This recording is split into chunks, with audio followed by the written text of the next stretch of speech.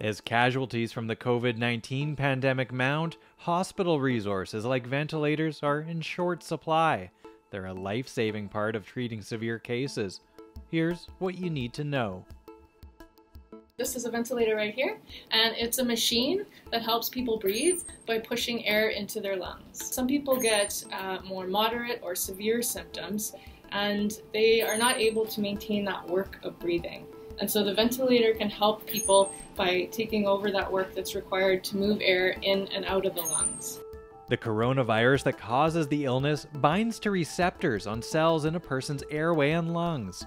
The World Health Organization estimates 80% of people with COVID 19 get better on their own without needing to be treated in hospital. But in severe cases, it's the respiratory system that will struggle to do its job oxygenating a patient's blood, which is where the ventilator comes in. Tanks of medical air and oxygen are mixed at precise levels and pushed down a tube.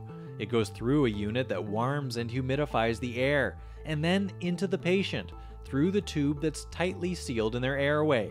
The lungs naturally spring back, pushing the air out through another tube. For COVID 19 patients, filters are added to contain the virus. The computer controls the flow and detects the patient's breathing. We have people in the community that stay on ventilators for years or even decades, and they usually get a tracheostomy tube, so a hole in the neck with a tube there uh, to make it more comfortable. A typical ICU stay would be about 5 to 10 days. One of the risks uh, is with the breathing tube, which goes through the vocal cords and into the trachea to allow ventilation of the lungs. Uh, anything that is invasive like that can allow bacteria to get in, and so people can get what's called a ventilator associated pneumonia. So we can't ventilate with those. Thumbs down on that one. Those machines just provide one steady level of pressure. So they don't actually ventilate the lungs, they keep the upper airway open thumbs up on that one. It would be like comparing a sports car to your old clunky commuter car. Uh, they can for sure get the job done.